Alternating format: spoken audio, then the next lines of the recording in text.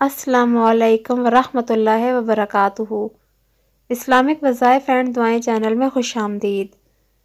आज मैं आपको एक हदीस बताऊँगी, इस्लाम करने में पहल करना।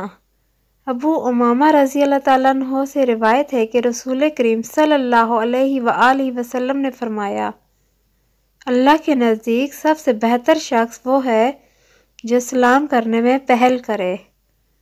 अच्छी बात आगे फैलाना सदका जारिया है। हदीस को अपने दोस्तों के साथ ज़रूर शेयर करें।